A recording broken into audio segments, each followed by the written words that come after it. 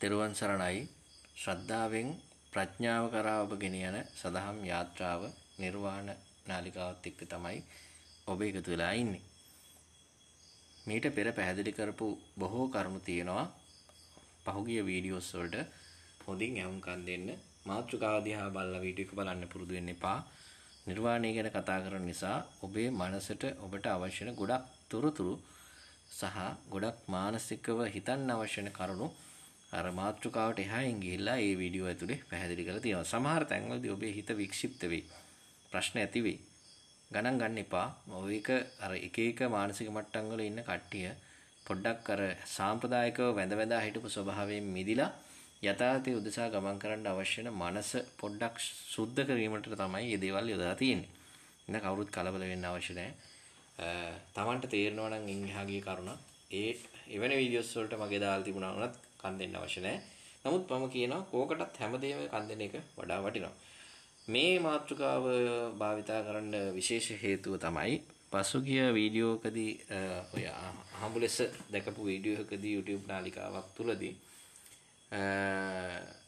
යශෝදරා මාතාව පිළිබඳව ලොකු කතිකතාව කතිකාවතක් යනවා. කියන්නේ යශෝදරා නැත්තම් රාහුල මාතා පිළිබඳව වන්දනාමාන පූජන කිරීම සම්බන්ධව. දැන් මේ බුද්ධ දේශනාවේවත් නැති බුදුවරු කවදවත් කතා කරපු නැති ගුණාංග ගැන කතා කරා. පුජ්‍යදේවන්ගේ ගුණ ගතිගුණ කතා කරපු නිහතමානී නෙමෙයි අනතිමානී චරිතයක්. බුදු මේ ශ්‍රී සිද්ධාර්ථ ගෞතම එහෙම නැත්නම් බුදු වෙච්ච ගෞතම බෝධිසත්වෝ කියන්නේ. එතකොට එහෙම පැහැදිලි කරයි කියවට ලෝකේ බුදවරු බිහි වෙන්නේ මානසිකව යමක් පැහැදිලි කර දෙන්න. හරි? තණ්හාව ඊට පස්සේ ඔය අපි දන්න ඒ කාරණා තුන රාග, ద్వේෂ, මෝහ වශයෙන් පවතින කරුණු තුන මත පදනම් කරගෙන ඇතිවෙන සිතුවිලි දාම නිසා විවිධ තලවල හටගන්න ජීවීන් පිළිබඳ විස්තරයක්. ඒ කියන්නේ අපේ අපි අපේ ලෝකේ හදාගන්න හැටි. ලෝකයක් කියලා එකක් හදාන ඒකේ අතරමං වෙලා සංසාරේ ඇවිදින හැටි. ඒක නවත්තන හැටි. අපිට අපි ගැන තේරුම් ගන්න අවශ්‍ය වෙන දහමකුයි පැහැදිලි කරේ. ඒ දහම ඇතුලේ මේ උදේ යන රෑ වෙනකන් ගාථා කිය කියා ඉන්න, මල් පහන් පූජා කර කර වැඳ වැඳා ඉන්න, චෛත්‍ය වටේ එක එක විකාර කරන්න, පන්සිල් ගන්නවා, බණ භාවනා කරනවා කියලා විකාර කරන්න මේවා ඉස්සරලා තිබිච්ච දේවල්. මේවා කවුරුත් අමුතුවෙන් මේ බුදුහවුලික් ඇවිල්ලා කියපු දේවල් නෙමේ. ඒවකට ඒ පරිසරය තුළ තිබිච්ච දේවල්. හරි. එතකොට ඒක ඇරනකොට පුදුවරෙක් පැහැදිලි කරන්න මම කියව මූලික කාරණාව. රාග ද්වේෂ මොහ වගේ කරුණු වලින් නිදහස් වෙලා නිබ්බහාන කියන தത്വෙට සිතපත් කර ගැනීම කියන එක. සිතලා يعني හිත හිර කරලා නෙමෙයි තේරුම් අරගෙන මම ඒවා නිතරම පැහැදිලි කරලා දීලා තියෙනවා. හැබැයි මට ප්‍රශ්නයක් වුණා මේ රාහුල මහතා. එහෙම නැත්තම් යශෝදරා දේවිය පිළිබඳ මෙච්චර භක්තියක් සහ මෙච්චර පුද පූජා තිය තියා මොකද්ද මේ කරන විකාරය? කවුද මේ මේ විකාරේ පටන් ගත්තේ? මට තේරෙන දේ තමයි කවුරු හරි ස්වාමීන් වහන්සේ නමක් හරි ගිහි කෙනෙක් හරි ඕනකට වඩා මේක උලුප්පලා තියරවලා ඒකට වන්දනාමාන කරන්න රැල්ලක් පුරුදු කරලා මිත්‍යාව කරන් දුවනවා මිනිස්සු ටික. ඔන්න ඕවටයි මිත්‍යාව කියන්නේ. මොකද බුද්ධ දර්ශනය ඇතුලේ කතා කරනවා නම් අපි කතා කරන්න ඕනේ බුද්ධ දර්ශනයට දාලා දේවල්. සංස්කෘතිය කතා කරනවා නම් සංස්කෘතිය කතා කරන්න. දැන් අපි හැම වෙලාවෙම මිනිස්සු කියන්න දන්නේ මේ දේවාල සංස්කෘතිය. එහෙම නැත්නම් අපේ ඉතිහාසගත සංස්කෘතියේ කාරණා ජ්‍යොතිෂය ඇතුළේ විෂය ගැඹුරු බොහොම වැදගත් විෂයන් ඒවා මිත්‍යාව ලෙස සලකනවා. ඒවට නෙමෙයි මිත්‍යාව කියන්නේ. ඔන්න ඕවා මිත්‍යාව.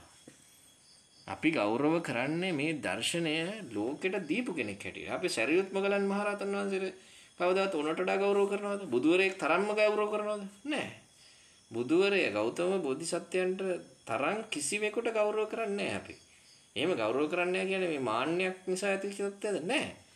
ඒක සම්ප්‍රදායනිකවල අපි එහෙම අපි ගෞරව කරන්නේ බෝධිසත්වයන්ට. මොකද එයා තමයි මේ කතාව ලෝකෙට කිව්වේ. අනිත් අය ඒක අහගෙන තම තම නැති. එහෙනම් ඉතින් බෝධිසත්වයන් දැනන් හිටපු සියලුම කාරණා දැන් හිටිය ආනන්ද හාමුදුරුවනේ. ආනන්ද හාමුදුරුවන්ගේ රූපමවල අබල වෙලා මිනිසුන්ට වන්දනාමාන කරන්න පුළුවන්. මේ යශෝදරා ගැනයි කතා කරන්නේ. යශෝදරා කියන ඉතිහාස චරිතය අහලා තියෙන විදිහට ඔය හැමෝම පොත්පත් වලින් ඔය ඔක්කොම දන්නේ. ඇත්ත කතාව කවුරුත් දන්නේ නැහැ. ඇත්ත කතාව දන්නවනම් ඔච්චර විකාර නටන්නෙත් නැහැ. ඒකට තියෙන ශ්‍රද්ධාව හදාගෙන වෙනමම රැල්ලක් හදලා මිත්‍යාව වශයෙන් කවුරු හෙදුවත් දන්නේ කවුරු කරත් ඒක මහා කැත වැඩක්. ශ්‍රද්ධා දැන් මාත් එක්ක එල්ලෙන්නේ ඒකට ශ්‍රද්ධාවන්ත මිනිසු ටික මාත් එක්ක එල්ලෙන්නේ. එනමුත් බුදුවරේ කියපු පැහැදිලි ගමනත් වළක්වන තැනක් බවට පත් වෙනවා යශෝදරා වන්දනා කරන්න ගියාම. ඔයගොල්ලෝ උතරම් මෝඩද කියලා විතරයි මට අහන්න තියෙන්නේ. අඥානද ඔච්චර. ප්‍රඥා ගෝචර ලස්සන දහමක් තියද්දි ඔච්චර අඥානද ඔයගොල්ලෝ. සම්ප්‍රදායක් විදිහට ඔයගොල්ලෝ යමක් කරනවා නම් ඒවට මම කවදාවත් දොස් කියන්නේ. දැන් මෙහෙම කතා කරන කෙනෙක් කතරගම දේවාලට කියලා පූජා වට්ටියක් තියලා වැඳලාවට මට ප්‍රශ්නයක් නැහැ. ඒක මම වැරදි කියලා මම දකින්නෙත් නැහැ. මොකද ඒගොල්ලෝ තාම දෙවිවරු. එතන යකෙක් හරි ඉන්නවනේ. ඔයගොල්ලෝ හරියට දැන් කවුරුට තර කිරුවොත් දෙවි කෙනෙක් ඉන්නවද කියලා යකෙක් හරි ඉදීනේ. මේ පුද ගන්න බලා ඉන්න මොකෙක් හරි මලයක්ෂයෙක් හරි ඉන්නවනේ. ඒතර මේ මලයක්ෂයා නිසා හරි මිනිසුන්ට සිතක් සැලසිලා තියෙන නිසානේ භෞතික ලෞකික වශයෙන් తాවකාලිකව සිතක් හරි සැලසිලා තියෙන නිසානේ මිනිස්සු දෙන්න යන්නේ. දැන් ඒතර ඔබ කියයි යශෝදරා මාතාවටත් එහෙනම් අපි වන්දනා කරන්නේ ඔන්න ඔය භෞතික ලෞකික සැප තමයි. දෙයියනේ ඔයගොල්ලෝ ඔච්චර මෝඩද? මොකද යශෝදරා මාතාව කියන්නේ කාගේ කවුද? එතකොට මේ කාගේ කවුද කෙනා මොනවද මේ ලෝකෙට කීවේ? මොකද යශෝදරා මාතාව කියන්නේ දෙවි කෙනෙක් නෙවෙයිනේ. බුද්ධ චරිතයක්. බුදු බුද්ධ කතාව ඇතුලේ තියෙන ප්‍රධාන චරිතයක්. ඒතකොට ඒගොල්ලෝ ගමන් කරේ නිබ්බාන. නිබ්බානට ගමන් කරව මිනිසුන්ට වැඳ වැඳ මොකද්ද මේ කරන විකාරය? කරුණා කරලා මේ වීඩියෝ මම දැක්කේ ගෑනු දරුවෙක් දාපු වීඩියෝ එකක්. ඒ ඔයගොල්ලෝ මොනවා කරනවද කියන්නේ මට තේරෙන්නේ නැහැ. දැන් මේ ඉඳලා මේ මේ තියෙන පිස්සු දේවල් වලින් මිදිලා යථාර්ථය හොයන්න. බුදුරු දේශනා කරේ මොකද්ද කියලා හොයන්න. ඒ කරුණ මොනවද කියලා හොයන්න. වැඳ වැඳ ඉන්න එක දැන්වත් නවත්තන්න. සංස්කෘතිය තිබුණා. ඒකට අපි පහර ගන්න ඕනේ නැහැ. සංස්කෘතිය මිනිස්සු තිබුණා. නමුත් යටි සිතෙන් ඔබ තනියම කල්පනා කරන්න. මේ බුදුරු දේශනා කරේ මොනවද? නිබ්බාන නම් අපි මේ නිබ්බානද කරන්නේ. උදේ ඉඳලා කිරිහාර පූජා, ආහාර පූජා තියතියා යශෝදරා මාතාව කියා වැඳ වැඳ මොනවද මේ කරන්නේ? කරුණා කරලා මේකේ නවතින්න. ඇති ගියා. ඔයගොල්ලෝ තව කවුරු හරි කෙනෙක් මේ මේ වගේ අලුත් සංස්කෘතියක් ආයෙ පටන් ගන්න හදනවනම් නවත්තන්න. ඔබට දිවි දෝෂෙයි. මේ වගකීමෙන් කියන්නේ. දෙවිවරු දිවි දෝෂ කියන්නේ දෙවිවරුන් නිසා ඇති වෙන දෝෂ තියෙනවානේ. දෙවිවරු විරුද්ධ වෙයි සම්‍යක් දෘෂ්ටික. මොකද ඒගොල්ලෝ නිර්වාණ තත්ත්වයට පත් වෙලා නැහැ. ඒගොල්ලන් සමහර පිරිසකගේ ඇති වෙන මානසික විපර්යාසය ඔබට වස්වදිනවා වගේ දෙයක් විතර බලපායි. මොකද බුදුවරු දේශනා කරන දහම පස්සේ නම් යන්නේ එය පමණක් පාවිච්චි කරන්න. ඒකට අනුගත වෙච්ච සංස්කෘතියක් තියෙනවා ඒක උන්නාසට අනුව පමණක් තියන්න. අපි ආනන්ද හාමුදුරුවෝ වදින්නේ නැහැ. සරියුත් මගලන් වදින්නේ නැහැ. වෙනත් අය වන්දනාමාන කරන්නේ නැහැ. ඒගොල්ලන් කර ගාතාවක් හරි කියනකොට යම් ප්‍රාත මෙයාගේ මෙහෙම දක්ෂතාවයක් තියෙනවා මේ හාමුදුරුවන්ගේ ඒ නිසා අපි කරු කරනවා කියන ගාථා පාට විතරයි ඇහෙන්නේ. ඒ ওই සංස්කෘතිය තුල. හැබැයි මේ පිළිම තියාන වන්දනාමාන කරද්දී මේ විශේෂත්වයක් මෙහෙම ගෙනාවේ නැහැ. හැබැයි මම දැක්කා යශෝදරා මාතාව වදින්න වෙනමම කතාවක් යනවා. වෙනමම කුටියක් වෙන් කරගෙන වෙනමම තනක් වෙන් කරගෙන වෙනමම පුද පූජා තියෙනවා. නිකන් තවත් අනුබුදුවරයෙක් වගේ. මොකක්ද මේ කතාව? එතුමියගේ තිබිච්ච ගුණාංග, මනුෂ්‍යත්වයේ තිබුණු ගුණාංග වෙනම කතාවක්. ඒවා හිත්සතාන්සුරට දාගන්න. ඒවා හිතට ගන්න. ඒවා තේරුම් ගන්න. ගැණු දරුවෙක් හැටියට ඔයගොල්ලෝ යශෝදරා මාතාවක් වෙන්න ආසනම් ඒ ක්‍රමයට තමන්ගේ ස්වාමි පුරුෂයා ඇතුළු ඒ පරම්පරට සලකන්න. සංසාර ගමන ඒ විදිහට සකස ගන්න. ඒක විකාර පූජාවක් කරන්න එපා. පූජාවක් කරපු පරිදි ඔබේ ඔබේ සංස්කෘතිය වෙනස් වෙන්නේ. ඔබේ ශ්‍රද්ධාවක් එනවා. ඕන මිනිසුන්ට ශ්‍රද්ධාවක් එනවා. ශ්‍රද්ධාවක් ආවා කියලා ඔබට නිබ්බහන නැත. බගකීමෙන් කියන්නේ ශ්‍රද්ධාව නිබ්බහන නැත. ශ්‍රද්ධාවක් කියලා කියන්නත් බෑ නිකන් අමුතු භක්තියක් ඕක. ශ්‍රද්ධාව කියලා කියන්නේ තවබෝධීමේ කොටසක් නේ ඇත්තටම. මොකද මම ওই සිංහල වචන දන්නේ නැහැ කියලා මම හැම වෙලාවෙම කියනවා. මොකද මේ මම දකින අර්ථකථනයේට මට සිංහල වචන නැහැ. මම කියන වචනයකට ගැලපෙයි දන්නේ නැහැ කොහොමද මම අදහස් කරන දේ ඔබට තේරෙනවනේ? ශ්‍රද්ධාවට තමයි භක්තිය. මේ භක්තිය තියාගන්න හිත ඇතුලේ. භක්තිය තියාගෙන මොකද වෙන්න ඕනේ? එතුමියගේ හෝ යශෝදරා වෙන්න පුළුවන් සරියුත් මොගලන් හමුදුරුවෝ වෙන්න පුළුවන්. එතකොට ආනන්ද හමුදුරුවෝ වෙන්න පුළුවන්. ඒගොල්ලන්ගේ චරිත අසා තියෙනවනම් ඇත්ත බොරු වැඩක් නැහැ පොතපතකින් අසා තියෙනවනම් ඒගොල්ලන්ගේ චරිත ස්වභාවය තියෙන ගුණාංග තමන්ගේ ජීවිතේට එකතු කරගන්න. එහෙම නැතුව කිරිහාර පූජා තියතියා උදේ ඉඳන් විකාර කරන්න එපා. එහෙම සංස්කෘතියක් ආයේ හදන්නත් එපා. අන්න මොකද මේ මේ පරපුරට මේ වැදගත් සංස්කෘතියකුත් තිබිච්ච වැදගත් විදියට ජීවත් වෙච්ච පරපුර විනාශ කරන්නේ ඔන්න ඔය වගේ බහුබෝධ ලෝකෙට ඇති කරන කට. දැන් බෝධි පූජා කියන එක බුදුන් කාලේ තිබිච්ච එකක් නෙමෙයි. ඔයගොල්ලෝ ඉතිහාසයේ ගිහිල්ලා හොයලා බලන්න. සංස්කෘතියක් වශයෙන් කරන බෝධි පූජාව බුදුන්ගේ කාලේ එකක් නෙවෙයි. හැබැයි ඒක එහෙම ඔලු කියලාවලා යස අගේට මීට අවුරුදු මං හිතන්නේ 50ක් 60කට එහා පැත්තේද මන් දන්නේ නැහැ. ආමුදුරමක් හින් තමයි මේ தත්ත්වය ඇති කරන්නේ. බෝධි පූජාවේ. ඒකට අමතරව තමයි බෝධි පූජාවට හරිය ලස්සන ගාථා ටිකක් තියෙනවා. ග්‍රහාපල දුරේ ආවල් බුදු ගුණෙන් අපේ සඳුගේ අපල දුරු වේවා මෙන්න එකතු කරව බයිලා. ආවල් බුදු ගුණෙන් අපේ සෙනසුරු අපල දුරු වේවා මෙහෙම ඒවා නැහැ. මෙහෙම ගාථා නැහැ. මේ වගේ බහුබූත කියන්න එපා. සාමාන්‍ය නමක් මේ කුණත් පැවිදි කෙනෙක් වුණත් මේවා සංස්කෘතිය කියලාවත් එකතු කරන්න එපා. මෙහෙම විකාර සංස්කෘතියක් අපිට නැහැ. විකාර මෙහෙම විකාර සංස්කෘතියක් හදන්න එපා. අලුතෙන් හදන්න එපා. මේකත් හදපු සංස්කෘතියක්. මේකත් අර බෝධි පූජා වන්දනාවත් එක්කම ගෙනාපු එකක්. ග්‍රහචාරයට තියෙනවා වෙනම පොද පොද පූජා. ඒවා ඔය අර ඉතිහාසයේ තිබිච්ච ශාස්ත්‍රානුකූල ජ්‍යොතිෂ ශාස්ත්‍රය වගේ ශාස්ත්‍රානුකූල ඇතුලේ තියෙනවා යාගහෝම කියලා જાති. ඒවා එහෙම සංස්කෘතියක් කමක් නැහැ. මේ බුද්ධ දේශනාව ඇතුළට මේ සංස්කෘතිය ඇද ගන්න එපා. පන්සල් පල්ලි සංස්කෘතිය පන්සල් සංස්කෘතියක් තියෙනවා. පන්සල් සංස්කෘතිය තියෙන්නේ ගියා බෝධියනාවල හරි මේ පොඩි ඉතිහාසයේ පොඩි දෙයක් හදලා තිබ්බනේ. ඒකට තව දාත එකතු කරන්න එපා. එතකොට තාත් විකාරයක් වෙනවනේ මේක. මොකද ඔහොම වන්දනා බුද්ධ දේශනාව වෙන්නේ නැහැ. නැති දේවල් වලට තවත් දේවල් එකතු කරගත්තට පස්සේ වෙන මේක තවත් විකාරයක් වෙනවා. අන්තිමේට තව අවුරුදු බොහොම කීපයක් ඉස්සරහට ගියපුවාම බුදු ගුණ කියලා ඉතුරු වෙන්නේ මොනවද කියලාත් අපිට තේරුම් ගන්න බෑ. දැන් අන්තිමේට තව ටිකක් කල් ගිහිල්ලා මට නම් තේරෙන දේ තමයි මෙහෙම තව අවුරුදු 500ක් විතර ගියොත් එහෙම ඊළාට කියයි මේ අර වසර 2500ක් ශ්‍රී සිද්ධාර්ථ ගෞතම බුද්ධ බෝධිසත්වයන්ගේ කාලය ඊළඟ 2500 යශෝදරා බෝධිසත්වයන්ගේ කාලය කියලා වගේ වචන හදාගනින්න දන්නෙත් නැහැ මිනිස්සු. ඊට පස්සේ තවත් පතර 500ක් විතර ගියාට පස්සේ ධර්මය සංගායනා කරනවා කියලා වෙලා බුද්ධ දේශනාවේ තිබිච්ච ගාථාම් ටික එකතු කරලා මේ ත්‍රිපිටකය වගේ කියන කතා හදලා යශෝදරා පිටකය කියලා වගේ එකක් හදායි දන්නේ නැහැ. යශෝදර පිටකය වගේ එකක්. මට බයින්න එපා කවුරුත්. මේ වගේ දේවල් වෙන්න පුළුවන් දැන්. මේ යන හැටියට. මේ යශෝදර පිටකය කියලා මේ යශෝදර මාතාවගේ තියෙන හරි ඒ ඔයගොල්ලෝ කියාගෙන මහා භක්තියත් එක්ක තියාගන්න ඒ උත්තමාවියගේ තොරතුරු ටික ජීවිත කතාවේ තිබිච්ච ගුණාංග එකතු කරලා පොතක් හදලා කියයි යශෝදරා පිටකය. දැන් යශෝදරා වත කියලා යන්තම් අර ඒ එතුමියගේ ජීවිත කතාව වගේ කතාවක් හදාගෙන තියෙනවනේ දැනට. හ්ම් දැනටත් හදාගෙන තියෙනවා. යශෝදරා වත විතරක් නෙමෙයි. ඒවයි නිකන් බොරු බහූතෝන්නේ නැහැ.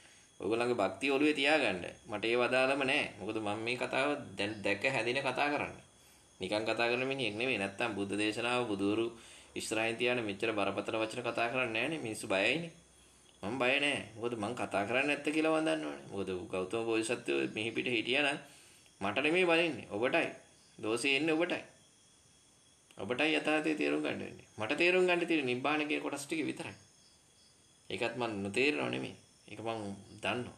දැන හැදිලා යමක් කතා කරන්නේ. එතකොට ඔබ තාම යන්න එපා මේ ලස්සන්ට ගමන ඉවසන් කරගන්න තිබිච්ච දේ තව කොහෙද මේ යන්නේ? මොනවද මේ කරන්නේ? එතකොට එහෙනම් කරන්න වෙන්නේ මොකද්ද?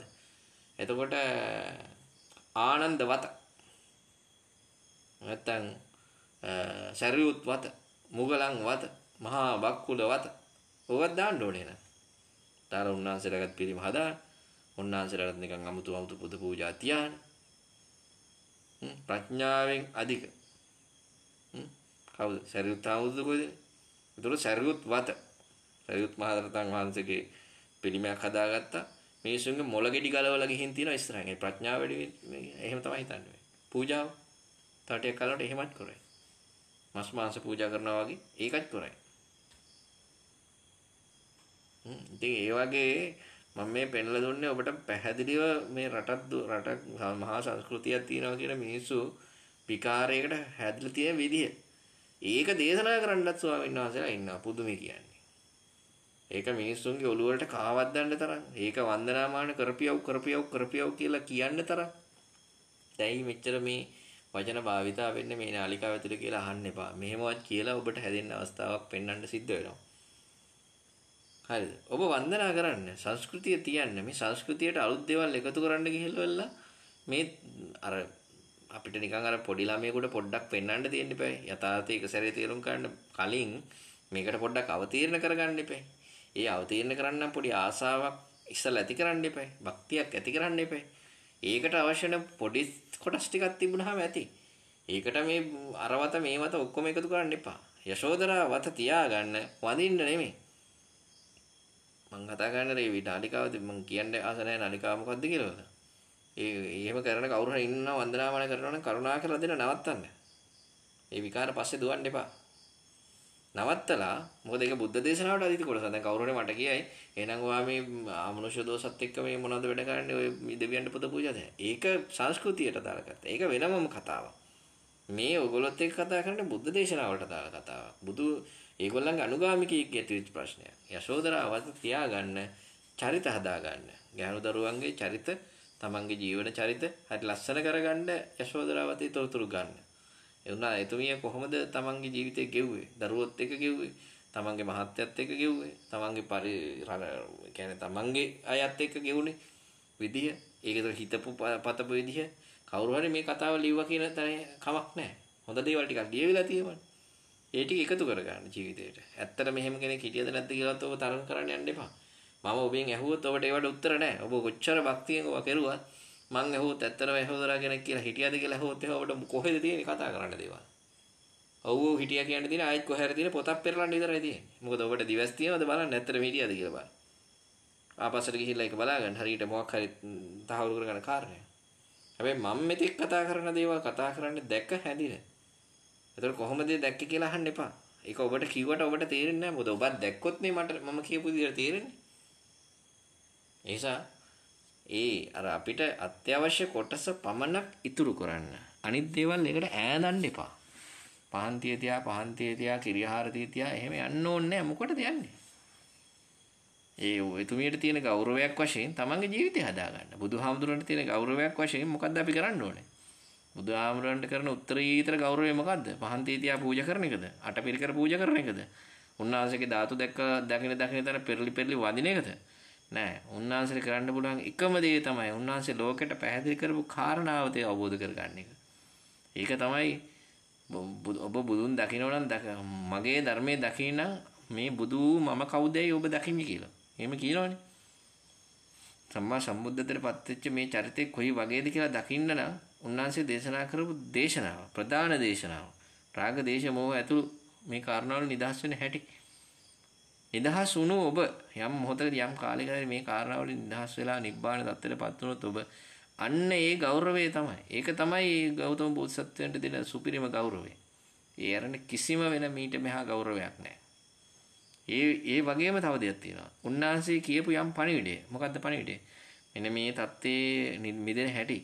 මේ විදිහේ සිතුවිල්ල කට ගන්න හැටි, ඒ සිතුවිල්ල නිරුද්ධ වෙලා යන හැටි, ඒවට තියෙන බැඳීම නිසා විමානතර හැදෙන හැටි මේවා හොඳට යථාබෝධ කරගෙන තමනුත් යමක් තේරුම් අරගෙන තව කෙනෙකුට පැහැදිලි කරලා දෙනවනම් තව කෙනෙකුට ඒ සිත හදාගන්න උදව් කරනවනම් මං කියන ධර්ම ශ්‍රවණයට අවස්ථාව දෙනවනම් නැත්නම් ධර්ම සාකච්ඡාව විදිහට යනවනම් අන්න ඒකත් ගෞතම බෝධිසත්වයට කරන උත්තරීතර පූජාවක්. වෙන කිසිම පූජාවල් නැහැ.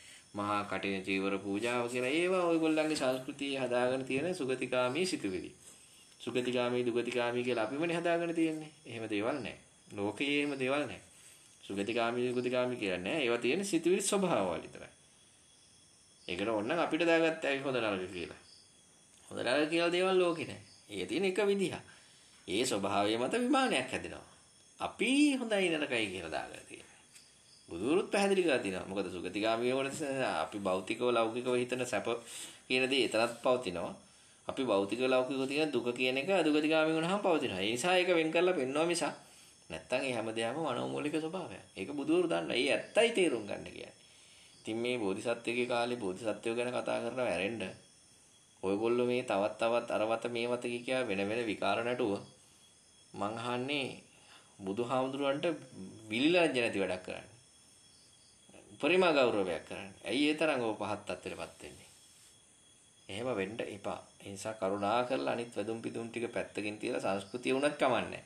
ඒ තියෙන කාරණා අයින් කරලා මොන ආමතුරු දේශනා කියලාත් කියන්නේ බහූත අයින් කරන්න. ඔබ කරන වන්දනාවක් සංස්කෘතියානුකූලව හරි කරනවා නම් ඒ බුද්ධත්වයේ උදෙසා කරන්න. ලෝ බුදුහාමුදුරු උදෙසා පමණක් කරන්න. අනිත් අය සිහිපත් කරන්න. අනිත් අය සිහිපත් කරන්න. ඒ අය වෙනුවෙන් අපි පහනක් දැල්ලුවා ඔබ පහන් 6 7ක් බුදුහාමුදුරු ඉස්සරහා පත්තු කරද්දී පළවෙනි බුදු පහන පත්තු කරන ඔබ නිකන් මම මේ සංස්කෘතික කතාව මට මම නම් මේ වගේ දේවල් ටිච්චර කැමති නෑ. නමුත් අපි එහෙම හිතමු. භෞතික ලෝකෙත් ඉන්න බෑ අපි සංස්කෘතියත් එක්ක ඉන්න බෑ. ඔබ පළවෙනි පහන පත්තු කරනවා වගේ ලෞතර බෝධිසත්වයන්ට මේ පහන පූජා වේවා. ඕන් ඔබ ළඟ නිකන් සාමාන්‍ය ප්‍රාර්ථනාවක්. ඕන්නම් එහෙම කරගන්න. මං මං ඒක පැහැදිලි කරන්න යන්නේ. නමුත් ඒ වගේ දසක්. ඊළඟට එතනම පත්තු කරන ඊළඟ පහන කියනවා අම්ම තියෙනවා. ඉතින් මේ ගමනට සහයෝගය දුන් බිරිඳ වශයෙන් හිටපු ළඟ හිටපු චරිතය සංසාරගතව. ආ එතුමියටත් මේ පහන පූජා වේවා. නිකන් ඒ කියන්නේ අපි කරන්නේ භක්තියක්. අපේ හිතේ තියෙන මාන්නය අපි නැති කරගන්නවා. හරි ඒක ඒ වගේ දෙයක් ඕනනම් කරගන්න පුළුවන්. එහෙම රෙන්න පිළිමත් හදාගෙන මේ මේ මේ පහන ආනන්ද හාමුදුරුව වෙනුවෙන්. එහෙම හිතන්න පුළුවන් කෙනෙකුට. හැබැයි ඒවා අර ඕව යන්න එපා. අධික යන්න එපා. ඒ කියන්නේ අධික භක්තියක් අන්ධ භක්තියක් දක්වා ඒක ගෙනියන්න එපා. ඒක සාමාන්‍ය සංස්කෘතියත් එක්ක බැඳිච්ච පුංචි සිතුවිලි මාත්‍රාවක් විදිහට ගන්න. ඒක ප්‍රඥාවෙන් තේරුම් ගන්න ලෞකික ලෝකේ පොඩි අර නිකන් උත්තේජනයක් විතරයි. ඊට වඩා යන්න එපා ඒ කතාව. දැන් මේක එහෙම නෑ. බුදුහාමුදුරුවෝ අතහැරලා දැන් යන්නේ වදින්නේ මිනිස්සු යශෝදරා. තව ටිකක් කරලා ඒකයි කිය යශෝදරා පිටකය කියලා ත්‍රිපිටකයක්ම ඊට දන්නෙත් නෑ. තව අවුරුදු 500ක් විතර යනකොට. නින්ද හරි පරිස්සමට. අනාගත පරපුරට මොනවද දෙන්නේ කියලා මන් දන්නේ. ඊට පස්සේ මේ වගේ ගෑනුව දරුවෝ කහල බැඳපු දවසට අම්මා වෙලා යශෝදරා වඳිනවා දැක්කහම දරුවෝ මොකද හිතන්නේ? ලෝකෙට බුදුදහම දුන්නේ යශෝදරා වෙයි ඊට පස්සේ. මොකද්ද ඒ කරන්නේ? දෙවියන් වඳින එක වෙනම කතාවක්. ඒක වෙන සංස්කෘතියක්නේ. හැබැයි මේ බුද්ධත්වයටම අදාළ අයගේ සංස්කෘතිය වෙන් කරලා වැඩ කරන්න කිව්වොත් එහෙම වෙන්නේ බෝධිසත්වයන්ට තනක් නැතු වෙනවා. ඒ කතාවට තනක් නැතු වෙනවා. ඒ යථාර්ථයට තනක් නැතු වෙනවා. මේක කරුණා කරලා මේක කවුරු මේ ලෝකෙට ගෙනාවත් නවත්තන්න? එහෙම නැති වුණොත් ඔබට දෙවියන්ගේ දෝෂ දර්ශනයට ලක් වෙනවාමයි. අද මේ වචනේ ඇහුණා කිව්වා ඒක ස්ථීර කරා කියන එක ඒකාන්තයෙන් මතක තියාගන්න. කවුරු හරි තර්ක කරයි ඔබට එහෙම ඒකාන්තයෙන් කියන්න පුළුවන්ද කියන වචනේ. එහෙනම් වගකීමෙන් කියනවා මේ කියපු දෝෂය ඔබට දැනෙනකොට තේරුම් ගන්න මම ඒ විස්තීර කර බව. මම මේ විශ්වයේදී ස්ථීර කර බව ඔබට දැනෙන දවසේදී තේරුම් ගන්න එතකන් මාත් එක්ක තර්ක කරන්න එපා. එහෙනම් මින් එහාට මහ පොළොවේ පැවිදිය යුත්තේ සංස්කෘතික අංග පැවතිය හැකි ඒ මෙතෙක් කල පැවතුණු සංස්කෘතික දේවල් බුදු දර්ශනයට හෝ බුදු දහමේ බුද්ධත්වයේ ශ්‍රී සම්බුද්ධත්වයට ගෞතම බුදුසත්වයන්ට තියෙන ගෞරවය උදෙසා යම්කිසි පුද පූජා කටයුතු වලට මිනිස්සු යම්කිසි නැඹුරුවක් වෙලා තිබුණා නම් ඒ සංස්කෘතික අංගයක් විදිහට පැවතිය හැකි ඒකට දෙවිවරුන්ගේ යම් ආශිර්වාදයක් ලැබෙනවා මොකද වැඳුම් පිදුම් කරලා කෙනෙක් සුගතිගාමි වෙන එකට දෙවිවරු කවදාවත් අකමැති වෙන්නේ නැහැ. මතක තියාගන්න. හැබැයි ඒ බුදුවරයෙක් මූලික කරගෙන නැත්නම් ගෞතම බෝධිසත්වය මූලික කරගෙන හැදිච්ච මේ සංස්කෘතික වටපිටාවට විකාරී දේවල් එකතු වේ නම් ඒ කියන්නේ මේ වෙනත් වෙනත් අය වන්දනා කරමින් මේ තියෙන හරය නැති වෙලා යන්න අවස්ථාව හැදෙනවා නම් ඒක දෙවියන්ගේ දෝෂ දර්ශනයට ලක් වෙනවාමයි. එය අද කියූ බව මතක තියාගන්න. එය එසේ වෙන්න අයිතියක් නැහැ. ඒකට අවස්ථාවක් නැහැ කියලා ස්ථීර කළ බවත් අද හොඳට මතක තියාගන්න. මේ වීඩියෝ එක ඔබට ඇහෙනකොට ඒක තේරෙයි. ඇහෙනකොට ඔබ පරක්කු වැඩි වෙලා තියෙනත් පුළුවන් කරන්න දෙයක් නැහැ. ඒක දෝෂ දර්ශනයට ලක් වෙලා ඉවරයි. ඔබට වරන් ලැබෙනවා වගේ දේවල් හැදිලා ඔබ විකාර වෙලා මානසික මුතුවටපත් වෙලා ඒ වගේ දේවල් ඔබට සිද්ධ වෙලා තිබුණොත් ඒ තමයි අර අනවශ්‍ය දේවල් කරන්න ගිහිල්ලා ගත්ත විපාක ප්‍රතිඵලය කියන එක ඔලුවට දාගන්න. ඒක දැනෙන දවසක. දැනෙනකොට ඔබ ඒක තේරුම් ගන්න. ඒ ඒ උනිතු උන්නාන්සේලා කරුණු ගන්න. දැන් විශේෂ කරුණු ගොඩාක් ධාරණය කරන හිටිය ආනන්ද හාමුදුරුවෝ. ඉතින් ඒ ඒ උන්නාන්සේගේ හැකියාව ගන්න. ධර්ම දේශනා ශක්තිය ගන්න. මොකද කෙනෙක් අහගෙන කියන දේ අහගෙන හිටපුවාම මේක ඒ ආකාරයෙන්ම පැහැදිලි කර හැකි විශේෂ හැකියාවක් තිබ්බා ආනන්ද හඳුරවන්න. එහෙනම් ඔබත් ඒ වගේ දක්ෂයෙක් වෙන්න. කාගේ හරි ධර්ම දේශනාවක් හරියට කන් දුන්නොත් ඒක තව කෙනෙකුට පැහැදිලි කරලා දීමේ දක්ෂතාව ඔබ හදා ගන්න. ඒ වගේ යශෝදරාවසී තොරතුරු ගන්න. ඒ වගේ සරියුත් මොගලන් හාමුදුරුවන්ගේ කතාවස්තුවේ තොරතුරු ගන්න. වෙනත් ඕනේ හාමුදුරුවන්ගේ තොරතුරු ගන්නකොට ඒ විදිහට ගන්න. හැබැයි ඒක විශේෂ භක්තියක් විදිහට සලකන්න. ඒක හිත ඇතුලේ තිබුණා. භක්තියක් ඔබට තියෙනවා හිත ඇතුලේ තිබුණා. ඒක භෞතිකව ඔප්පු කරන්න ගිහිල්ලා තවත් පරපුරකට දායාද වෙන දෙයක් විදිහට දාන්න එපා. දායාද විය යුත්තේ ඒ ගුණාංග පමණයි. එහෙමතු ඒකට 아무තු සංස්කෘතියක් එකතු කරන්න එපා. ඊට පස්සේ පන්සල් ගානේ රාහුල මාතා කියලා දේවල් ගොඩනගෙන්න පුළුවන්. දැනටත් එහෙම ගිහින් තියෙන බව නම් පේනවා. කරුණාකරලා ඒක නවත්තන්න. තාමත් ජේසුස් වහන්සේගේ බිරිඳක් ගැන කතාවක් නැහැ. ඉන්නවද නැද්ද මම දන්නෙත් නැහැ. ඒ කතා කරන්නේ ඒගොල්ලන් එයා ගැන, එයාගේ මව්තුමිය ගැන, ඒ වගේ විශේෂ කාරණා ටිකක් විතරයි.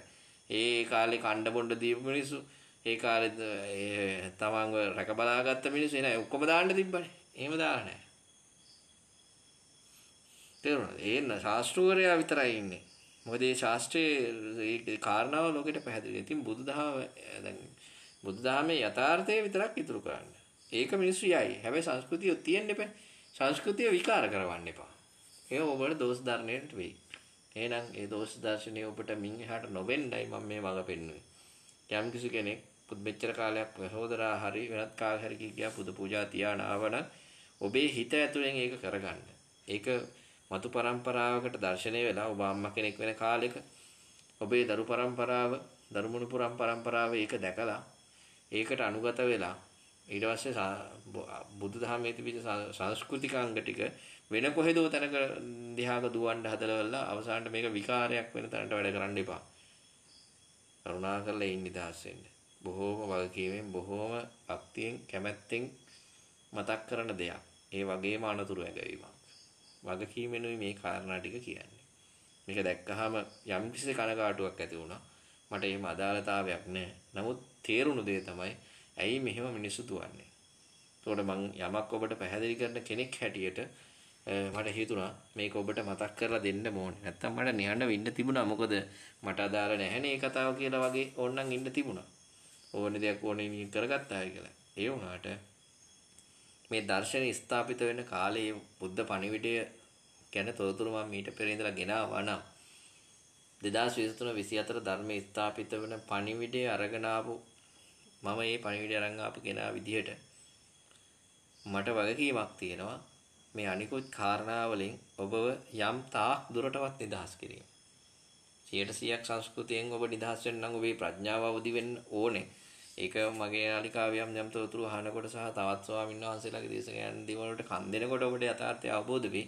හැබැයි මේ වගේ බහූත දේවල් තව එකතු කරනකොට අන්න එතෙන්ට අපිට කතා කරන්න සිද්ධ වෙනවා. ඉතින් මේ දෙයක් මිසක් නැත්තම් මට නිහඬ වෙන්න තිබුණා මේක මේ වෙලාවේ යථාර්ථයට ඉඩ දෙන්න ඕනේ. නැත්තම් ඔබ කරන ওই පූජා කටයුතු නිසා ඔබේ පවුලේ තව කෙනෙක් යථාර්ථය අවබෝධ කරගන්න තියෙන අවස්ථාව මැකිලා ඔබත් එක්ක යහෝදරා වදින්න ගිහිල්ලා ලස්සනට නිවන් දකින්න තිබිච්ච පාර වහගෙන ඇති දැන් මේකට. ඔබේ පවුලේ නිසා කරුණාකර නවත්තන්න. එයාලට ඒ නිර්වාණය නිබ්බාන කියන தත්තේ රාග දේශ මොහ ක්‍රියාත්මක වෙන හැටි දකින්න ඉඩ දෙන්න. භක්තියක් හදාගෙන වෙන වෙන දේවල් වන්දනා කරන කාලනාස්ති ගන්න එපා. වරමක් අනම්මනම් දේවල් මම අනිත් නාලිකාව තුල කතා කරන එක හැබෑව. ඒක වෙනමම කතාවක්. මේක එකම කතාවක් නේ. බුද්ධ දේශනාවට අදාළ මම දැන් මේ පුන පුනා කියන්නේ මේක දෝෂ දර්ශනයට ලක් කරගන්න එපා. එහෙම වුණොත් ඔබට ඔබ වැඳ වැඳා ඉන්න ඔබ දැන් නම් භක්තිවන්ත හරි මගේ දිවිජේ සාර්ථකයි කියලා ඔබ යනවා කියන නිකන් සුරංගනා ලෝකයක්ම ඇවිල්ලා පෙනේ. දවසක ඔබට මේක දේව ශාපයක් වගේ වෙච්ච දවසට තමයි තේරෙන්නේ දෙයියනේ මේ මොකද්ද නේ. ඕවා කපලා කොටලා බලිතොවිල් කරලාවත් අරින්න බෑ. ඒක සංසාරගත දෝෂයක් වෙයි. ඔබ බුදුහාමුදුරු වෙනුවෙන් ඕනේ භක්තියක් තියාගන්න. සිත ඇතුලේ අනිත් ඒ කය වෙනුවෙන් භක්තියක් තියාගන්න. සංස්කෘතිය මිනිස්සුන්ගේ ඔලුගෙඩි වෙනස් කරන්න තරම් විකාර නටන්න එපා. හරි. මිනිස්සුන්ගේ ඔලුගෙඩියක් වෙනස් කරලා තමයි. ඒතකොට ඔබ කරන්නේ බුද්ධ දේශනාවට පටහැනි දෙයක්. බුදුවරුන්ගේ දේශනාව අතෑරලා දාලා මේ කොහෙදෝ ඉන්න කට්ටිය වදින්න පටන් ගන්නවා. සංස්කෘතිය ඇතුලේ තියෙන්න ඕනේ බුද්ධ දේශනාවට අනුගත දෙයක්. අඩුම තරමේ බුදුහාමුදුරුවෝ වෙනුවෙන් දෙයක් හරි. ඈ බුදුහාමුදුරු වෙනුවෙන් කරන දෙයක් හරි තමයි සංස්කෘතියක් කියලා තියෙන්නේ. දැන් මේ මොකද්ද කරන්නේ? කොහෙත්ම අදාළ නැති දෙයක්. ඒ නිසා ඒවා කරුණා කරලා නවත්තන්න. මං හිතනවා මේක ඇහෙන ඇහෙනගෙන ඒ අනවශ්‍ය කාරණා වලින් මිදලා අවශ්‍ය දේ පමණක් රැඳිලා ඉදී කියලා. හැම දිනාටම තිරුවන් සරණයි. ඔබට ගැටලුවක් ආවොත් කමෙන්ට් එකක් දාන්න පුළුවන්. මේ මේ විදිහේ භක්තියෙන් කරන අය ඉන්නවනම් ඒ අයටත් පුළුවන් තමන්ගේ අදහස කමෙන්ට් කරන්න. එහෙම නැත්නම් මාත් එක්ක කතා කරන්න ඕන නම් පුළුවන් කෙනෙකුට. අන්ධ භක්තියෙන් නම් කතා කරන්න එපා. මොකද ඔයාලා තරම් මෝඩ වෙන්න මම ලෑස්ති නෑ. ඒක වචනයෙම කියන්න ඕනේ. හැබැයි ඔබට යමක් පැහැදිලි කරලා දෙන්න මම සූදානම්. ඔබ මිදෙන්න උත්සාහ කරනවා නම් එහෙම නැතුව අර තමන්මයි ඒ රැල්ලේ ඉන්නේ කියලා හිතාගෙන ඒක පස්සේ දුවනවා නම් මට ඒකට කරන්න දෙයක් නැහැ. මම ගෙනාවේ මේ වෙලාවේ ධර්මයේ ස්ථාපිත වෙන එකේ ඔබට සුගතිගාමි වෙන්න තියෙන පණිවිඩයයි මම රැගෙන ආවේ. හැමදිනාටම තිරුවන් සරණයි.